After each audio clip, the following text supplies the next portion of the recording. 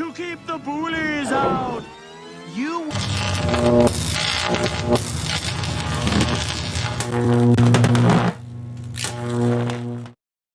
Muito bom, gente, não deu nada. Poderia ter morrido.